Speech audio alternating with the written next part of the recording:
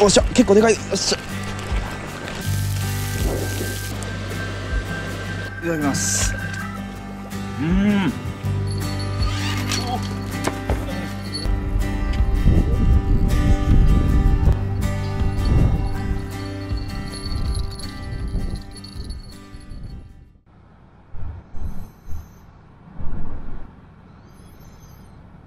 ほう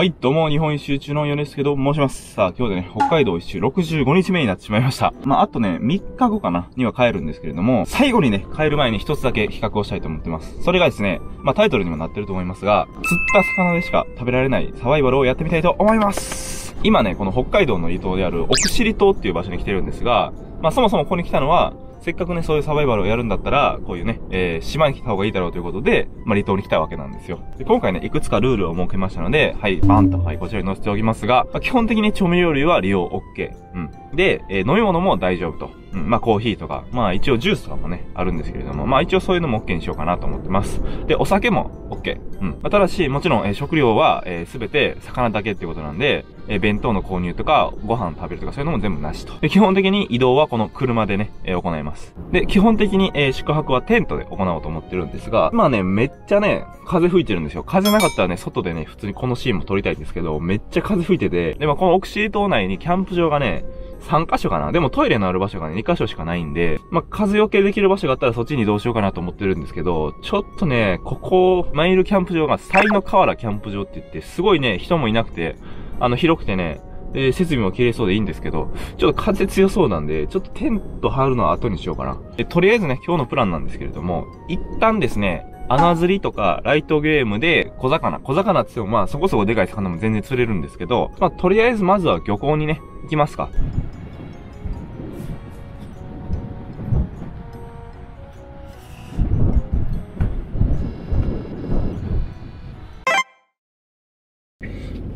とりあえずまず最初ね、スポットが、えー、奥尻漁港っていう場所ですかね。まあ誰もいないですね、案の定。うん。釣りしてる人も、漁師の人もいないと。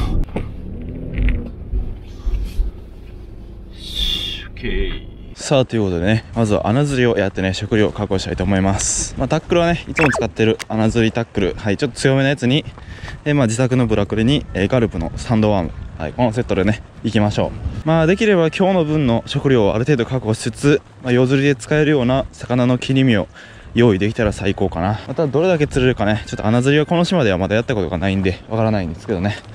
まとりあえずやっていきましょう。あ、なんか魚いっぱいおるぞ。てか、水きれいやな。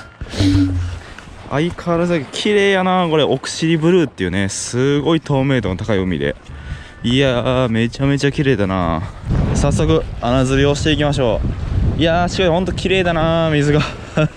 信じられへんなほんま。こっちもめちゃめちゃ透明度高いな。すげえ。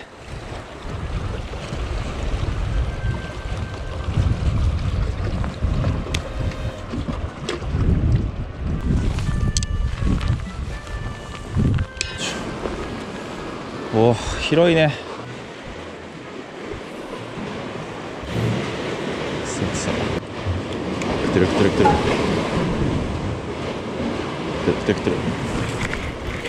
ん？ちっちゃ。ちっちゃいじゃねえか。八柄。はい。とりあえず初のフィッシュはね。八柄くんでしたね。かわいい。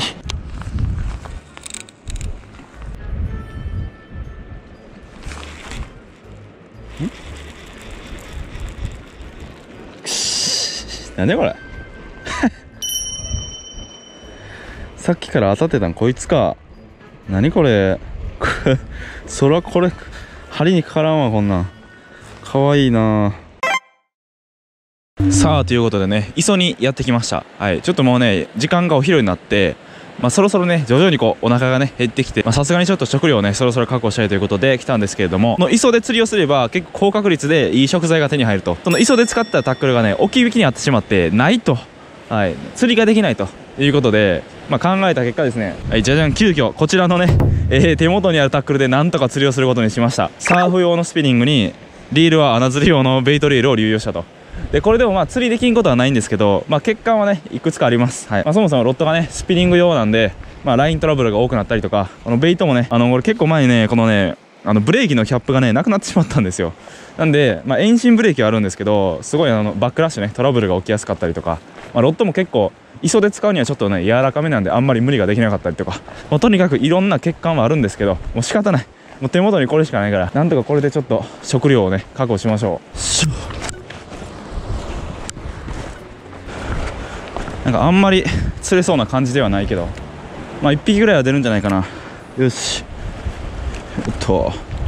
さあなんとかこのこのタックルで。ただまあ自分自身がちょっとベイトレールに慣れてないんでそれもねデメリットかな。よいしょ。投げにくい。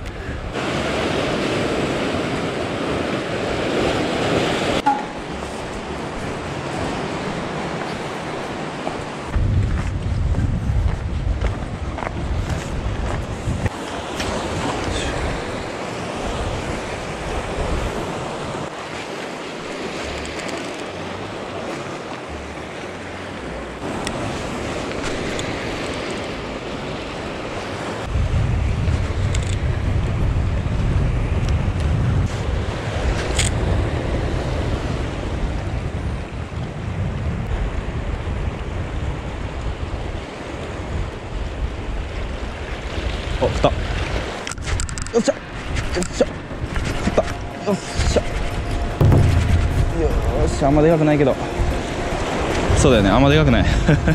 あちっちゃいな。ちっちゃ。ちっちゃ。20センチ。さすがにちっちゃすぎやな。これリリースかな。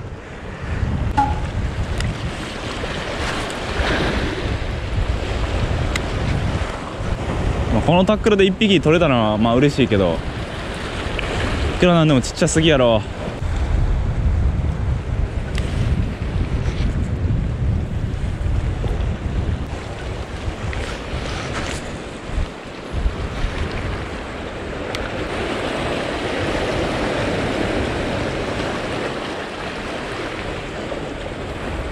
あ来たよ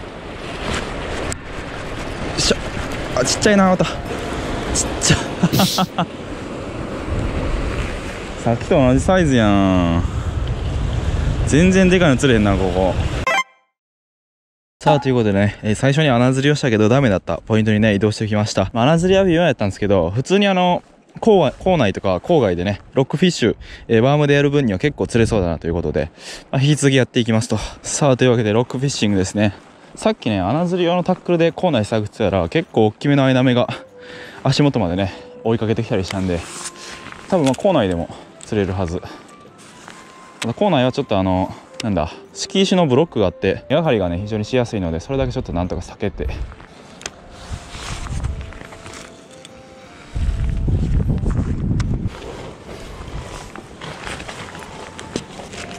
いしょ。よいしょ。このテトラ体の木はねこの外海の 10m から 20m ぐらいまでね航空写真を見るとねなんか深掘れしてるんですよ。だからちょっとその周辺を探っていく感じで。ちょっとこのテトラあんまりね足場が良くないからちょっと怖いけど。なんか当たりが。んかかってないか。うんちっちゃそうやな。あんまり大きい魚じゃなさそう。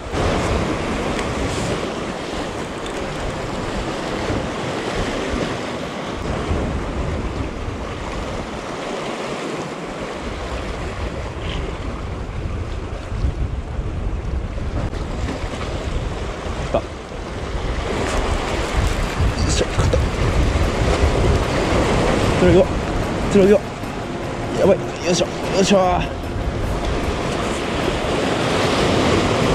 でも相変わらず微妙なサイズだ。まあこのサイズだからこそ今のもね取れたんだろうけどね。手トラキは。ちょっと危なかった。うーんこのサイズしかいないな。なんでだろう。はいというわけでミニ。アイナメちゃん。まあ一応食料ないしキープしとくか。ギリギリ30ぐらいありそうやし。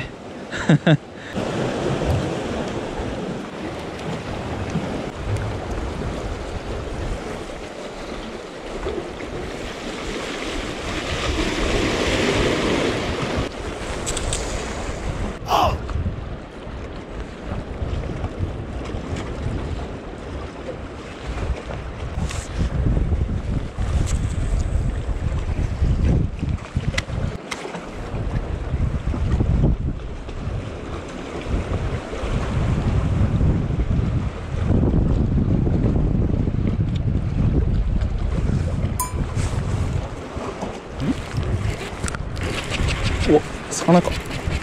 うわ結構引くぞ。おこれはでかいぞ。魚やった。あそんなでかくなかった。結構引いたけど。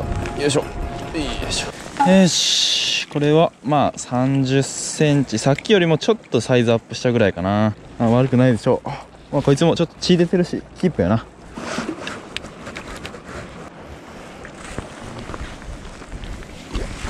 まあとりあえずね、まあ、サイズはちょっと離島にしてはねあまりにも微妙すぎるものの、まあ、ただ順調に食料はね確保できてるんで、まあ、その点はいいとしよう。まあでもこれ野菜とかご飯とかあれば多分あの2匹でも全然問題ないんだけど多分ね魚だけだったら全然足りないよねあれだ。